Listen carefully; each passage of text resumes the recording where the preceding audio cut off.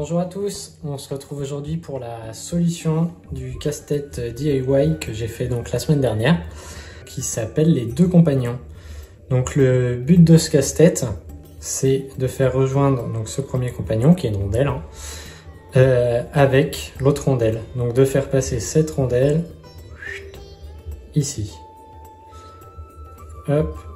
Donc c'est vrai qu'à première vue, on pourrait se dire on fait passer le but, ce serait de passer la rondelle dans le trou. Donc sauf comme on l'a vu à la construction, le but c'est de faire un trou qui est plus petit que la rondelle pour pas pouvoir passer la rondelle. Donc là, c'est un casse-tête qui, qui, a une résolution qui est tout de même assez simple. Mais bon, voilà, faut chercher quoi. Donc là, pour passer cette rondelle de l'autre côté, je vais passer ma première rondelle ici. Hop, donc derrière cet anneau. Et en fait, le but va être de passer cet anneau dans le trou et de le faire ressortir de l'autre côté. On va le faire ensemble. Donc en fait, on va tirer tout en gardant toujours la rondelle de ce côté. Donc on tire. Hop. Donc là, l'anneau est toujours du même côté.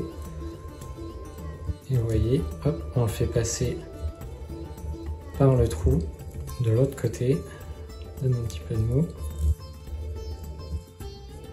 Et l'anneau arrive. Tac. Là on en a un.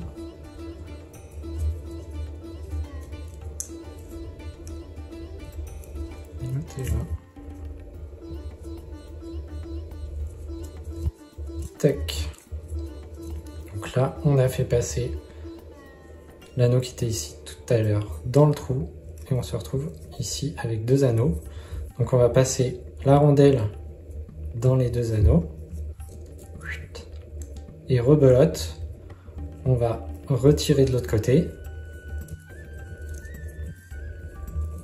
Donc quatre bouts de corde. Et on retrouve notre anneau ici. Et donc on va pouvoir passer la rondelle dans cet anneau. Hop. On la retrouve bien à droite. Et voilà. Et donc même système, on fait le sens inverse pour remettre l'anneau de l'autre côté.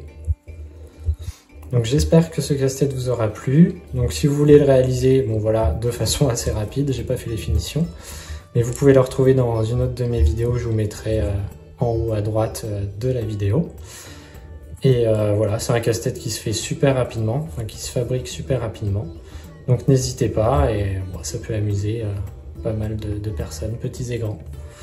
Voilà, donc si vous avez aimé, n'hésitez pas à lâcher un pouce bleu, à le mettre dans les commentaires et à vous abonner. Voilà, je vous remercie, on se dit à la semaine prochaine. Salut